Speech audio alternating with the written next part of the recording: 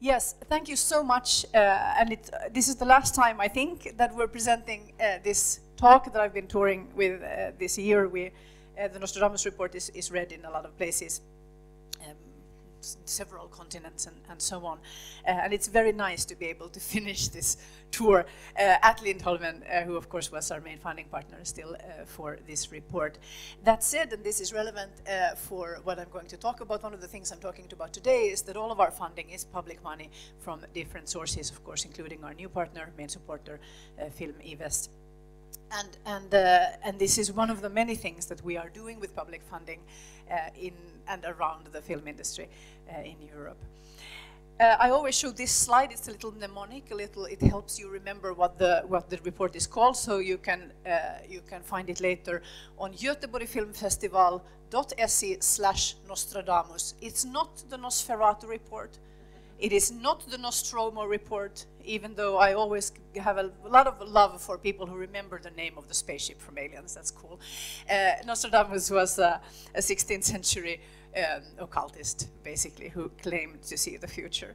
Uh, and basically, he was just saying a lot of incoherent things, possibly uh, based on taking a lot of drugs. Uh, that is not my method what we like to do every year, uh, apart from reading a lot of the public data that's available, all of those PDFs that you get links about in your email and that you then don't have time to read, we try to read those. And in addition, we do usually nine or 10 interviews with people who are working already in strategic positions in the industry. And because the, the future we're looking at is the, is the near future, three to five years ahead, what you understand, of course, especially if you if you working if you're working with feature films, is that that's how long it takes to make a project. So the people who are already thinking about how to develop their platform or what their next project is, they are already today at their offices. They are creating the future five years from now, which means that we're not actually predicting the future. We're describing the future as it is being constructed, and we're asking these kinds of people what their worries and what their concerns and what they're excited about right now. And that actually paints a very specific, I can say now with six reports, um, under our belt, we're pretty good actually at uh, defining what's happening. And that means, because we al always have different topics every year, that you can go to the website and look at like the last two or three reports, and they will still be valid and they will still be worth reading, even though, of course, some of the latest numbers you know, are not quite up to date. Uh, they're free to download, and you can read the report in less than two hours, and it doesn't require any we try at least to, to write them in a way where you don't have no any jargon. There will be a footnote explaining what all the difficult words mean. Yes, these were the topics of this year's report. I'm not going to talk about all of them today. I'm not going to talk about VR. I'm not going to talk about theatrical. And just for context, I want to remind you about something that we wrote about in one of the uh, earlier years, which is that we are living in an enormous boom in film and, and TV production. You know, of course. But in the film industry, our self-image is always that we are in crisis. And in fact, one of our, uh, our one of our interviewees, Sten Saluveer, who works uh, with um, the future of the industry in different ways, with uh, Cannes and with Storytek in Tallinn and so on, he's also doing his PhD right now. And in his PhD work, he went back and, and looked at when does the crisis in the film industry begin? And the answer is in the 1920s.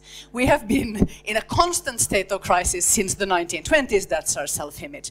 So, in that context, let's, let us remember uh, that we're doing pretty well right now. These numbers are very familiar. They're from FX Networks, uh, who are monitoring this in the US. This is the number of original, scripted original series, so no reality, just drama series uh, in uh, the US. Here we have the year 2002, and there we have the year 2017, which is the latest uh, numbers. And as you know, of course, a lot of new platforms are being added now this year within the next 12-month period, starting this month. Uh, so we are projecting, everyone is assuming that the number of original shows is going to continue to grow for at least, at least three to five years more. We're making more drama than ever for TV and it's better than ever. This is also a relatively old slide that I've shown many times. It's from the wonderful stephenfollows.com if you have uh, nerdy tendencies. He, he's a Brit who does wonderful statistical work with public data uh, about film. And this is just again to show you the, the the blue line is cinema admission, so number of tickets sold, and the orange line is number of titles that premiere in the cinemas, in this case in the U US and the UK, between uh, the year 2000 and uh, 2016. So you can see the tendency here. Uh, what's happened here in between is the digitalization of cinemas, of course, which have given us the wonderful gift that many more titles are available, especially in small towns. It also means uh, that uh, we know that the biggest, the top 10 titles take a larger market share, because of course, even if you live in a small town, you want to see the Marvel movie or whatever it is. Uh, and if you, as you can see here, if the total number of tickets isn't rising, then the, the, the share per film is going to be very low. And a lot of these films are going to be in the theaters for maybe one week, two weeks. They don't have time to build an audience. So we already know that in the cinema window, we are very bad at connecting. Even the good films don't necessarily find an audience. So we're making content that is fantastic, but connecting it to the viewers is uh, a bit of a challenge. And this is just like background for for what we're talking about. And the reason I'm mentioning this is that we have had this massive development in film production. It's cheaper to make films, it's cheaper to distribute films. Uh, and we are making, it's this, these numbers are leveling out in Europe now, so we're up, up on that level. Uh, where we well, the, well, the, the curve uh, across Europe has been the same, and we've leveled out in the last two years. Now it's approximately the same on that level. But when our resources will be diminish, which they will, as I will come to just now, uh, we have to think about what is the normal level? How many films do we make and release uh, in the cinemas? Is the normal levels the levels where we are now? Or is the normal level, what, what do we consider a sustainable level? Is it going to be halfway or is it going to be where we were 15 years ago? And that's really a big question for us to consider as we move forward. Because the public funding of audiovisual storytelling is directly threatened in Europe and in many other places populist and ultranationalist parties are shaping public policy. They're doing this through winning elections, so do directly, but they're also doing this indirectly, just through existing and existing in political discourse and forcing the other parties to triangulate towards the right. And in cultural, cultural policy terms, this tendency means, tends to mean funding cuts across the board, these kinds of parties are not fans of cultural funding at all. And they are also doing a lot of targeted efforts to shut down uh, programs that have a symbolic value for their politics. So minority voices, equality programs, anything that is experimental or niche. And now even, we have seen it, even in the Nordic countries, this idea that co-productions are suspect because they are foreign. Um, and of course, where actual fascists uh, do get to, to, into power, censorship also follows. But even before the censorship comes the self-censorship, and we're seeing effects of that uh, even across Europe. Also in Brazil, we saw an example this year where the election of Bolsonaro about a year ago uh, meant that overnight, again, and it, this was not even a, a, decision that they made in the Department of Culture, just political signaling was enough to take all the money out of the public-private uh, funds, which are, is how the film industry is funded in, the, in Brazil, and moving it to education. And nobody can argue, I mean, more funding for education is great, right? Except that now suddenly you don't have a film industry, so that's a problem for the film industry. Nationalists and populists are also not uh, fond of the free press for obvious reasons, and this affects funding for public service media houses, and that has um, side effects, uh, collateral damage, uh, because uh, for us, because film and uh, public service houses tend to be big investors in film and TV drama in the local languages, and they are very important buyers and uh, screening platforms for local and niche content the overall political situation where all of this is happening, with rapidly increasing costs for climate-related migration and extreme weather events, in a destabilizing world, with a looming recession, because let's remember that we have a global recession that is overdue, everybody's expecting it to happen at any moment. All of this happening at the same time will make it very, very costly even for sympathetic lawmakers, people who really believe in cultural funding, even for them, it will be very costly to spend political capital defending the arts. And we as an industry and in the art sector more broadly, we haven't been great at explaining and verbalizing and making it real eh, to the politicians, let alone to the voters, why what we do is important. And the prognosis over the next several decades, to be clear, is that all of this will get significantly worse even relatively small climate change, by which I mean the climate change that has already happened and that we cannot roll back, is going to affect global food production and make many areas uninhabitable. This is going to drive social unrest, it's going to force hundreds of millions of humans on the move, and of course this migration will put pressure on the nation state and on welfare states in particular. All of these headlines, uh, I will remind you, are just from like the last week. This is happening now. The climate crisis, this climate change is not a theoretical possibility. This isn't about, oh, the future of our children. No, this is happening right now. We came very close to losing the city of Venice this week. That's where we are right now. So then when we're saying, oh, but maybe we need 20 more million for film funding, yes, I mean, yes, we do, but this is the context in which these conversations politically we will have. And this is happening at the exact historic moment where automation completely unrelated, but it's happening right now. Automation is changing our labor markets completely, challenging the idea of a good citizen being a laborer whose work we can tax. So even without a massive global humanitarian crisis and an extinction level threat to our species uh, coinciding with these structural changes, just this in itself would be likely to benefit populists in elections. Some very intelligent people say that 10 years from now, we will no longer have truck drivers in the Europe or in the US. That whole profession is going to disappear. And I don't know how truck drivers vote. I hope they will vote sensibly. But I, am pretty sure how unemployed truck, truck drivers vote. And that's not going to be for a pro-science, world-saving agenda. So this was the, the theme of the film festival last year. And, um, and uh, it uh, unfortunately was very apropos for, for what all of our experts and where we ended up with the analysis in the report as well. In the best case scenario, 10 to 15 years from now, uh, the financial realities of the global middle classes will look quite different than they do today. And I would just remind you that the global middle classes, that's our audience. That's, you know, that's the people who pay for entertainment. That's certainly the people who pay for culture. And in situations of crisis, and certainly in a global recession, the money that people have to spend uh, goes down. And that effect is probably going to be delayed because there are so many big financial interests invested in these new platforms. So, so uh, the effect is probably going to be later, but be, be delayed. But long term, the public money is threatened, and in addition, the consumer spending is probably also threatened by this same effect. And I mean, that's the best case scenario. In the worst case scenario, young people of today will see about 2 billion dead from climate related, related crisis in uh, their lifetimes. And this means that every individual and every organization, there's nothing you can do. There's no question for you to approach that is more important than the survival of our civilization and of our species and of like mammal life on this planet. And it means that, that on the individual level and the national level, every art project you make, every, you know, um, every political choice you make, everything has to be understood in, in this context because and I mean, you can think about it politically or ethically. I am, have a duty to save the world, or you can think about it from the perspective of like I like to pay my rent. But soon, like this, it, it doesn't matter what on what grounds you make this choice. This is the reality in which we are all operating uh, now. So why was I talking about fascists before? Yeah, it's connected to this as well. Uh, on many levels, and one of them is that we have this idea that arts is a vaccine against fascism. And clearly that is not, you know, it's not that simple because we have free arts in Europe, certainly. And we also have fascists marching in our streets and populists winning elections. But it's important also that fascists believe very strongly that that art has an impact and that the, the, stories that we tell are important.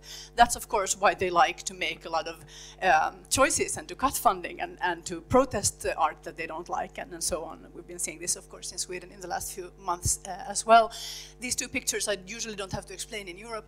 Uh, certainly didn't have to explain them in Germany. The Americans, of course, don't know what's happening here. This is the Entartete Kunst exhibition uh, where uh, the Nazi, during the Nazi regime, where they uh, collected perverse art, with modernism and things like that, to an exhibition to show how perverted the arts were. Uh, that like, can go a little bit in different directions because some people looked at this and went like, yes, this is amazing. Uh, and then, of course, we have Leni Riefenstahl, who was a great filmmaker, one of the greatest filmmakers of all time, who put her considerable skills to the service of an agenda of death populists are great storytellers. That's why they win elections. But they are dangerous because of how they construct dramatic tension. The monster is always an other. The monster is always a threat against conformity. And this in itself is a reason for us to continue to resist and to manifest a multiplicity of voices and representations. And another reason, of course, is purely ethical. Uh, in English, we say no taxation without representation. And what we mean by that is, in political terms, if I pay taxes, I have a right to be represented, for instance, in, in parliament in some sense, in some way. Uh, but also, literally, when we talk about representation on film, perhaps we should think about it in the same way. If we are making art with public money, perhaps all of the citizens who are paying taxes or who are operating in this system have the right to be represented on screen as well. And perhaps not only in stories about their troubles, and, and if you know if these are underserved groups, in stories about their uh, about their difficulties, but also in stories about legends and, and dreams.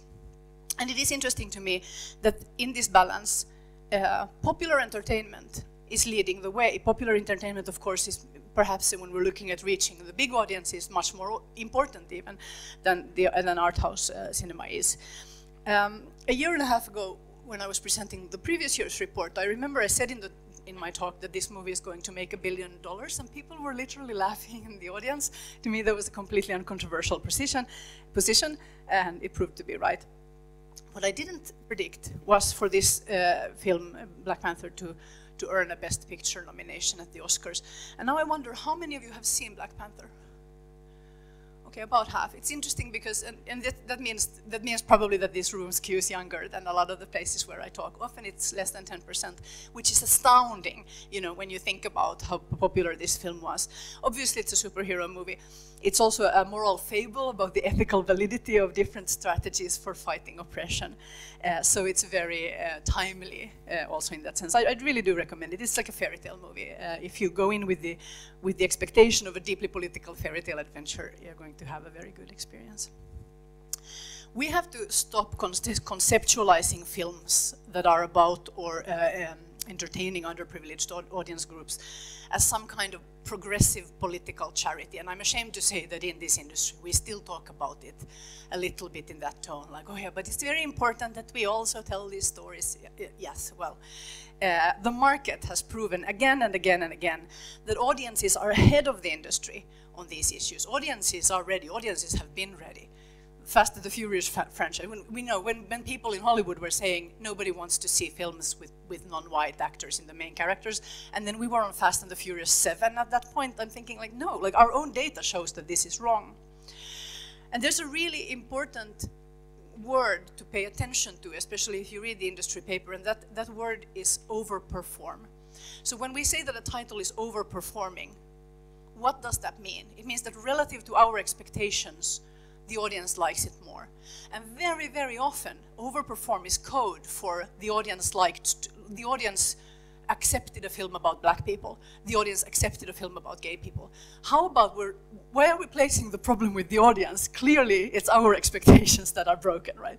If, it's, if it says Jordan Peele's latest movie overperforms, maybe what, we, what it should say is uh, expectations underrated for Jordan Peele's. Industry fails again at understanding audience. That's the news, right? It's not that the film is better than expected. What is a hero? What is a human? What is dignity? What is constructive? What is love? What is hope? What is reality? These are the kinds of questions that the market cannot answer on its own. And of course, that's why I'm especially um, proud of the fact that these kinds of films can exist, made in the US, made uh, in Europe. These, of course, are both uh, gay narratives, which are also talking about some other intersection like poverty, uh, like uh, migration in Europe, uh, where which are films that overperformed. That is, the, the audience was ready when we, even we who funded these films, thought that it was not. But when the market performs these tasks with more relevance than the industry, we have to ask ourselves, what the hell are we doing? Last year, we saw an EU decision to enforce local content quotas on VOD services. Uh, and I should say that in the Nordic countries, the Nordic countries politically, we didn't, we didn't support this in the EU. We were looking for other solutions. But the way the EU works is that now this is what we're going to do, and this is also how, how it's going to be legislated in our countries, of course. And the purpose of this local content, by which we mean European content quotas on the VOD services, was to, to force the US companies, the US giants, to contribute money to the European production economy. And that goal, I think, is like very sensible. Of course, in some way, they have to do it.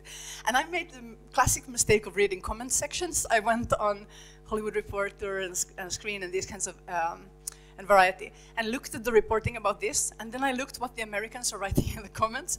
And it's funny, and you have to remember that the film industry, American, like that's a very progressive, very um, by American standards, very sort of left-wing uh, environment. But they were outraged. They were like, "Oh, Europe has finally like jumped the shark. Europe has given up the the the, the ambition to compete with quality storytelling. Now they will only compete with these quotas." Blah blah blah. And I realized that these people, I mean, sensibly, why would they? But they don't, they have no idea how our production economies work at all. Why is it important to get tax money into the system? What do we do with this tax money? So I made a little list and I put it in the report. Uh, here are some of the ways in which American companies continue to benefit from the European system. By securing investment in and acquiring content uh, funded with tax incentives or public money, by working locally and in the US with talent educated at our European publicly funded film schools, relying on publicly funding film archives, uh, careers that are nurtured at our publicly funded festivals and markets, where US companies too are welcome to show and sell their product. And ultimately, by making US film in an aesthetic language whose development is to a very great degree funded by uh, our countries, uh, and not just us, also, of course, Canada, Brazil, so on, countries where we believe that formal experimentation has inherent worth the market is not going to carry artistic experimentation. We understand this, the risk of failure is too high. And that is one of the things that we do with the public money in the European system. And then, of course, you know, five years down the line, 10 years down the line, those new aesthetic approaches to cinematic storytelling are going to trickle into Hollywood and become mainstream uh, filmmaking. And this list continues, of course, infrastructure investments. I haven't even talked about, you know, fiber and digitalization of cinemas and so on. We're doing a lot of things with this public money to maintain not just like how many crowns are going into your budget from Svenska Filminstitutet, but also like the wider ecosystem of filmmaking in general. And we're going to have to ask ourselves, I mean, I wrote that list because I was annoyed at some Americans, but I'm thinking now that we, we, need to think about that list ourselves as well here in Europe and certainly here in Sweden. Public funding over time is going to diminish. I think it's inevitable because of the ma macro trends in society. So we have to ask ourselves, what cannot exist? What can we not exist without? And uh, it's a thought experiment to think about at least all of the things that we're doing with public money now. What happens if that money goes away? Could we have, what if we don't have film schools anyway, anymore? Well, I guess we could have uh, a lärlingssystem. We could, we could have trainees, right? But would that be, would that make our, our filmmaking, filmmakers more diverse or less diverse? Like that's a real question to think about. Uh, my gut says less, but maybe then, we, then we'd have to work with that. How do we can we replace public funding of film archives with something? No, like probably not. I think if we want film archives, we're probably going to have to make, make damn sure that that money is future-proofed, and so on, and so on. More public-private partnerships, perhaps, yes. We haven't worked like that traditionally. Could we work like that traditionally? And if you're a filmmaker who already is finding it hard to get access to the public money. Perhaps you should be a trailblazer in finding that money somewhere else, because everybody is going to have to make this adjustment eventually. I'm looking at my time, I'm doing pretty well, I'm just over halfway. Uh, I'm going to stop talking about uh, the film industry, uh, about public funding now, and uh, spend the rest of the time talking about uh, streaming. Yes, so we're looking at three to five years from now, and, and just this uh, year, looking three, to five years ahead is super convenient because nobody understands what's happening right now with the streaming wars that have started this month with all the new services. But like three to five years from now, we're pretty sure what's going to have happened at that point, right? So we know that the streaming media landscape will find its new, new form. Streaming will be the replacement of what we have traditionally known as television. And probably that market globally is going to be um, dominated by a handful of companies. Those companies are probably going to be Google, Netflix, Apple, Amazon, and Disney or maybe not. But that's like, there's going to be about five of them that are globally dominant, or certainly at least in the West. Uh, we also know that niche services that take a very small market share but do something very specialized are probably going to exist. And we probably we are, can also be pretty sure that if your first language is not English, you're going to want content still in your local language. So we're going to have like national or regional dominance. There will be you know, an Arte or a Viaplay or a C More that becomes a big player in the in in a number of local countries or in a local country, probably based on like language uh, groups more than anything else.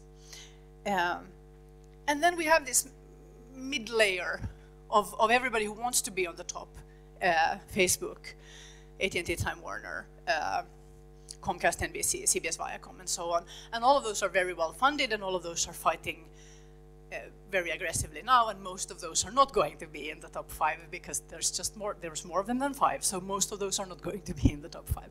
And we don't exactly know what's going to happen uh, there with those. And I should also add that in, in uh, markets outside the Europe and the US, uh, I think Chinese companies are going to do very well. And we know that there are at least two Chinese companies that do have the muscle to, to take on all of these these competitions. There's uh, numbers now that, that uh, the number of uh, subscription is in general for for um, streaming services is expected to, dub to double uh, in the next six years, but that number is not. Um, it, it's not going to continue to grow exponentially, especially not if the global economy goes down. So people are going to be selective, so we're probably going to see more ad-financed streaming probably. And then it's going to be quite a lot like television in the end uh, anyway, except you pick when, when, when and what you see. Um, the film industry in particular has really struggled to grasp the enormity of what it means that these tech companies are now uh, entering this um, this market. We're still talking a lot about Netflix, and we're still fighting about what is a film and like is Roma a film? Yes, it's a film. Like, and, but at, at, this point, it's also like if Martin Scorsese makes a 160 million dollar film, I don't care what its first window is. I think we're going to have to agree that it's a movie, like that's a movie. that's probably going to have to be a film. Uh, and, and it's also, there's this weird hypocrisy in this because a lot of us are still bitching about streaming in conferences like this and then we all go home and watch Netflix in the evening and feel that it's like profoundly unfair that streaming services are like taking the audiences with their quality content. I, it, that's just silly. Like, I think we're going to have to accept that this, this change has happened uh, now. And Netflix is the least of our worries, right? Netflix is, is the least terrifying uh, of all of these, these competitors. Netflix financed its growth by just generating an enormous debt. In the September of this year, the number was $12.43 billion. Um, and people who are counting on this are saying that they have so many subscribers now that if they don't get completely like annihilated by Disney Plus, probably they're going to make this money back over time. Like Netflix has a decent chance of either being sold to someone like Apple or just like earning the money. But in the end, their business model is very simple. Money comes in from subscriptions, money goes out to production and, and advertising. That's it. Uh, they have to make more money than they spend at some point for them to be a successful company. Now, that is not the case of any of these other new competitors, basically. This is a really old picture that I have to stop showing now, but it's just so uh, visually satisfying. Over there you have Apple, Amazon, and Alphabet. This is uh, market valuations of these companies. You can measure company sizes in different ways, but this is one of them. It's just very easy. And Facebook. And then here we have Disney, which now, of course, is the same pile as Fox, and it's also grown. So it, it's almost, it's not quite Facebook sized, but it's almost there. Comcast, Netflix, oh, there have been more mergers, so this isn't up to date anymore. But it just gives some idea of like how much bigger are the tech companies than even someone terrifying like Netflix? And the answer is a lot bigger. You, what you can also do is you can just go on Wikipedia and take a, a look at the world's top 10 largest companies by market valuation, uh, market capitalization. If you look at the numbers from 10 years ago, it would be mostly oil companies, things like that. If you look at the last quarter's uh, numbers, the top 10 companies in the world, uh, JP Morgan, Chase is a bank, but like 7 out of 10 are media companies. And all of those 7 out of 10 are also tech companies, like Alphabet, which is Google, Microsoft, uh, Facebook, Alibaba, and so on. Um,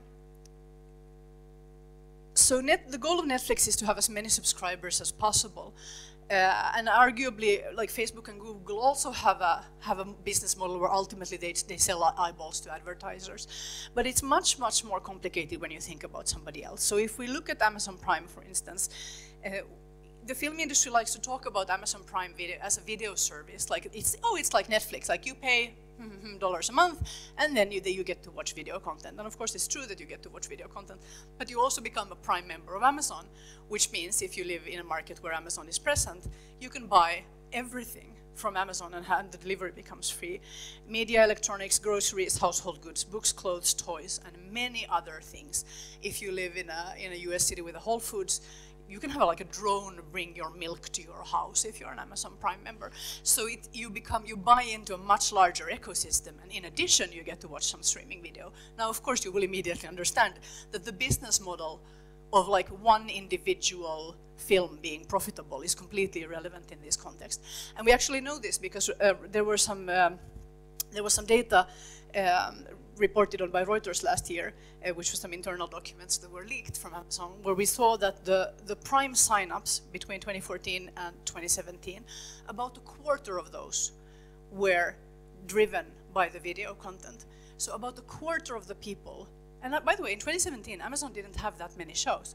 But, but even, even then, a quarter of the new Prime members came to Amazon Prime because of the video content. And then, of course, they're in the ecosystem, and then they're going to spend a ton of money on all of these other things. Uh, just the membership revenue of Amazon Prime, uh, which is, I think, not a public number, but people have counted on this, uh, the calculation is probably more than $9 billion annually just in membership revenue. And they, of course, have the, the rights, you know, to, the, to, to J.R.R. Tolkien's Middle-earth. And the TV show starts next year. It's budgeted at $20 million per episode. It will be the most expensive TV show ever made. And is it going to be profitable?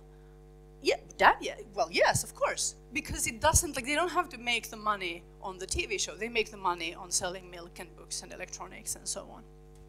So it's probably excellent value. And I'm, I, for one, am looking forward to this show. Uh, but this idea of having something else plus media is not new. Disney, of course, is not a technology company in the traditional sense, but they have worked like this always.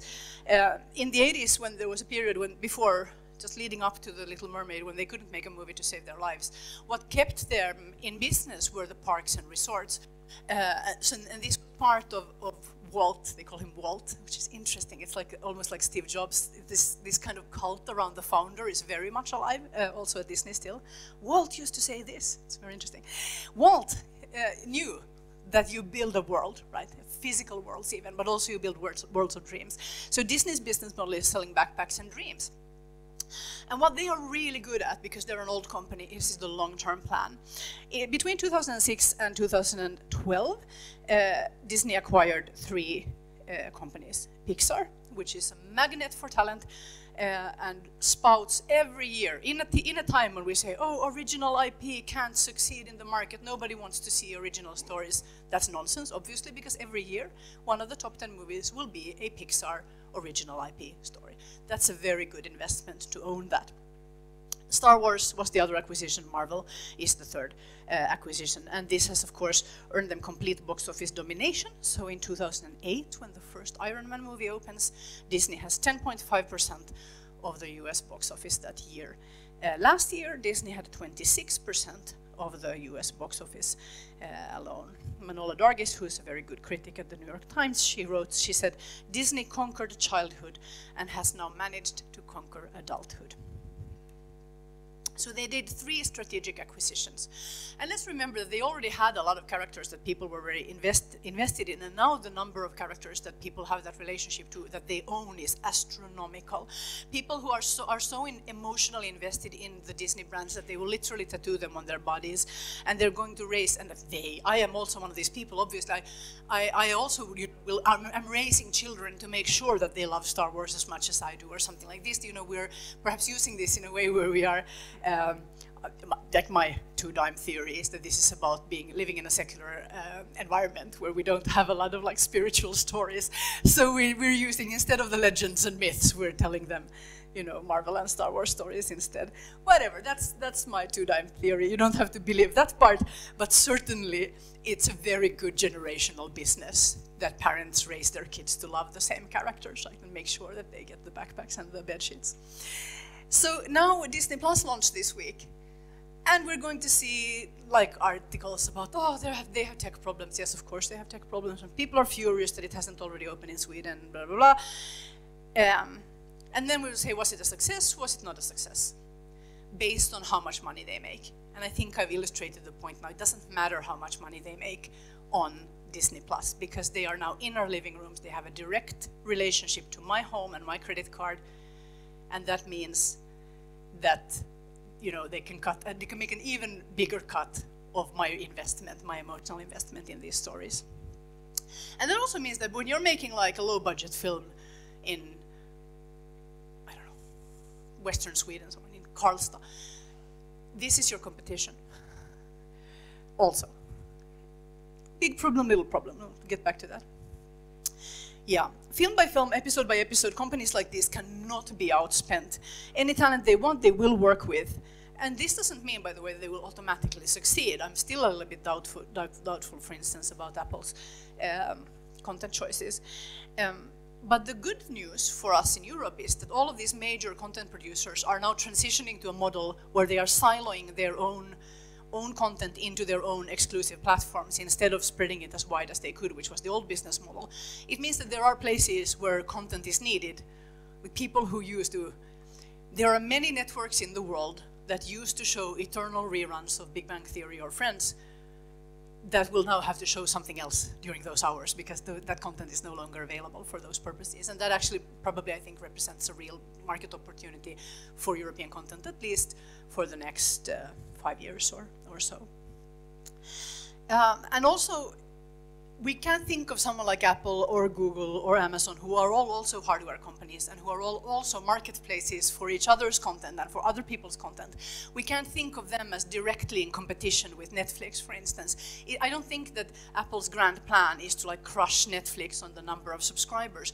Apple's grand plan is to is to tie consumers into networks where they sell something else. Amazon wants to sell us milk and books and, and, electronics. Apple wants to sell us phones and computers. And the video content and the high quality drama and the film acquisitions are all just part of that world, right? It's a much wider, higher stakes gamble. I think it's, it's possibly better to think of it like they're going to, they're, they're in the, mar these three companies are in the business of destroying cable TV as a market, for instance, that's already happening.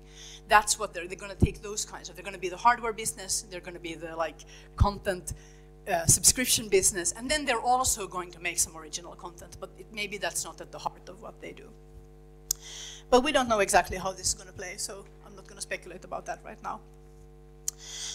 Uh, with all that said, this view that I've been talking from about film and, and, and television is incredibly old-fashioned uh, in that it is so focused still on these traditional distribution windows.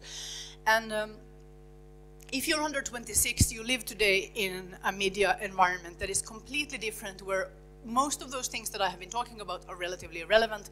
Yes, you have the services, yes, to watch the shows, but, but the idea of like a broadcast window of some kind being at the heart of your media consumption is absurd. They've never done it and they never will. So I'll just, this was just a random screen cap that I took from my own Facebook because I'm over 40, so I'm on Facebook.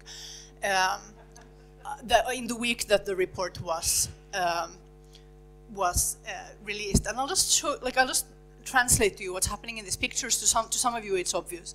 So this is from my Facebook feed. The sender, the sharer, is Reddit slash videos, which so that's like an, an online communities sub uh, community which is about sharing videos, but they also have a Facebook profile where they also share videos, and that's how it showed up in my feed. Uh, and what they shared was like a one minute clip from Twitch, which is an online streaming service, one of the biggest ones in the world. You can read about it in the very first uh, Nostradamus report, and if you don't know about Twitch, find out, please, because you're in trouble. Um, so this, from somebody's Twitch scene, a one minute clip which is called The Awakening. And in Twitch, people live stream themselves playing computer games or anything. Quite often they just live stream themselves talking to the camera and hanging out. And then they have viewers, and the viewers, there's also an economy, the viewers can give them like tips, money, directly as they're watching. So what's happening here, it's Jesse D, man in the picture, streams, and he's playing, Jesse D streams, playing, and he's not playing, he just is just chatting, so he was chatting online, and then he fell in, asleep in front of his webcam and the internet went bananas, as you can imagine. And they're like, did he die? No, he didn't die. Oh my God, is he gonna wake up? And betting and like they're, you know, oh, you gotta see this guy is asleep on the internet, blah, blah. And they're sharing it and they're giving him money and so on. And this clip that was shared was just him waking up like this.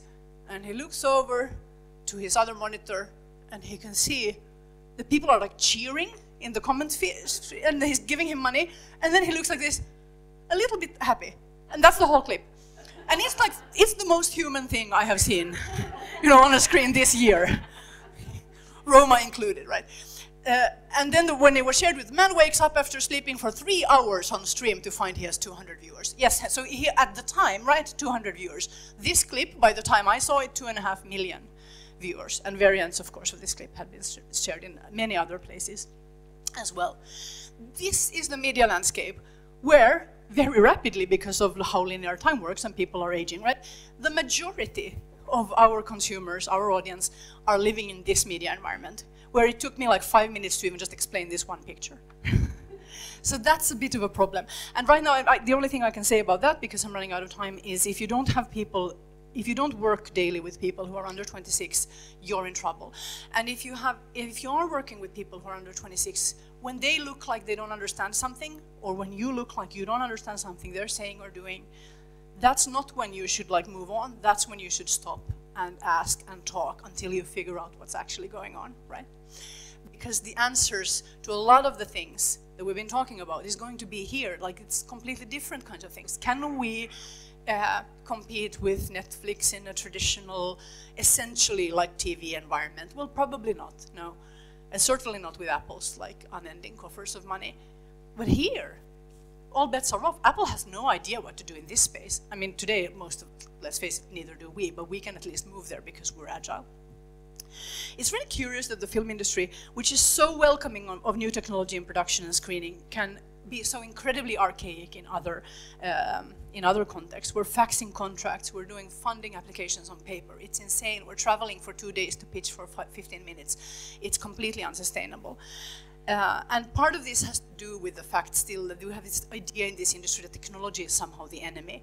And I know that this goes back to the 90s and when Silicon Valley starts um, and the way that they are, you know, and, and uh, Apple is having these big advertising campaigns that you will remember if you're middle-aged that said rip, mix, burn. They didn't know about copyright. They didn't understand why it's important. They do now, because they're content producers now. They care a hell of a lot about copyright. The tech companies have learned a lot from the content production industry, but we are still going like la la la la la when, when it's about when, when we talk about learning from them. And that's a real problem our successors are not waiting for permission to innovate. I wonder if we are recruiting the best young people to this industry or if they enter our offices or look at our content and throw their hands up in, in despair and go and do something on YouTube instead. I'm not sure about the answer to this question, but if you don't have a 26 year old in, in the office, probably the answer is we're not doing great here. Uh, and the, the other thing is that now we're waking up to the fact, oh, technology is really important, but because historically we haven't been interested in it, we don't know very much about it, so that's a bit of a problem as well. So we're very easy to fool. Like, I think the number of really dubious blockchain startups that I've heard pitch at different conferences in the last few years is, is a lot. Like, and then there are two maybe that I was like, okay, but this makes sense. And most of it is complete nonsense if you know anything about technology. But we have to allow ourselves the time to learn about what makes sense, what is a reasonable proposition, what's actually useful so that we can use these tools. Um, this industry has a problem and the problem is that there is no such thing as the industry. We have different, even within the different silos of film and television and so on, even inside those, we operate as though we are at war with each other. All of our different unions and all of the different platforms and all of the different um, distribution windows are fighting each other instead of thinking about what is the long term, uh, what is long term sustainability for this industry. And if we want to do things like adjust the window system or figure out the licensing for online content or things like that, we have to look beyond our short term interests and start to think about what our co collective long term interests are. And we all pretend, still, you will hear people say, like, oh, well, in this new landscape. Well, I don't know how new it is. You know, it's been 14 years with the iPhone now. 14 years. I, think we're just going to have to accept that this is the landscape. And it's been the landscape for quite some time, and now we're going to have to actually solve these problems. So we need to discuss on the national, European, and global levels what is the audiovisual culture that we want? What is it for? What are the behaviors the audience has already chosen? And so on. Um, and that is where I'm going to end this. I'm going to quote my own report. It's a very classy move. How do you compete when there is always competition that can outrun you, outspend you, produce content of a very high quality, only with relevance?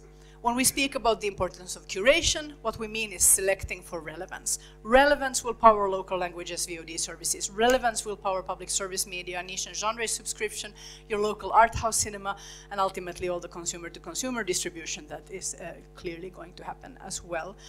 Relevance ultimately is an artistic problem relevance is about telling stories that mean something to the audience. That's where representation comes in. That's where the multiplicity of voices comes in. It's a business problem when, we're, when our content isn't connecting to the audience, and you cannot blame the media landscape that we've been living in for a decade now for that. It's definitely an artistic problem. We have to tell more relevant stories. I'm sorry, it's a banal answer. It's always been the answer. It's still the answer. Uh, and if we're not connecting with the audience, most of that, like 75% of that, is because we're not doing a good enough job on relevance. The last 25%, a little bit of tech problems. We're going to adjust that, I think, over time. Thank you very much.